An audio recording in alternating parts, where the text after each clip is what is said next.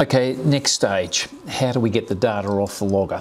Well, first obvious one is to turn around and hit the function key here and scroll up to where we can see copy logged data and go tick. Now that will just simply copy it off to the memory stick. Now if you remember, this is the memory stick that we supply.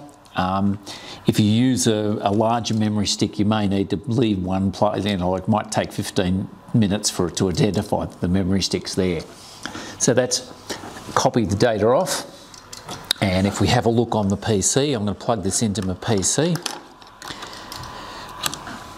And uh, it's plugged in. And we'll just bring up our, there it is there.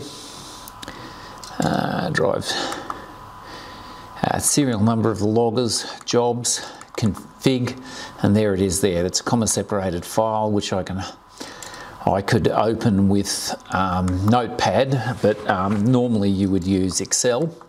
Um, I don't have to have Excel on this PC, and there it is, comma separated file. That'll go straight into Excel, and uh, you can edit it from there. It's option one. Option two is uh, Data Explorer here. Um, you can load the schedule tree, it just loads whatever it is. Um, and you can pick what to download from until too. So, in other words, we just simply download as a CSV, thank you. And there it comes back as a CSV, and so we can save that there.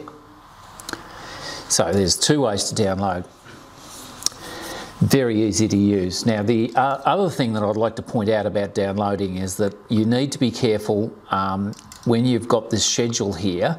Um, uh, sorry, I clicked on there, I didn't mean to. Um, this shed, I'll click on not on the plus key. See in advanced here, you may need to set more storage. The default storage on the logger is one megabyte, so you can easily set that to 10. Save now I'm also going to set, I might, uh, in this instance, I might set the, um, now if you notice apply to logger has now popped up. I might set a faster scanning rate for something later. There we go, and I'll apply that to logger. You could again warning me it's because it's wiping all the data off the logger. The logger's happily running. We can start the logger, we can stop the logger from the front panel, we can download to a memory stick, we can connect to it via a PC and download. Because it's Ethernet, you can have it in a remote part of the um, plant so long as it's on the same network as your PC. All very simple. Thank you very much.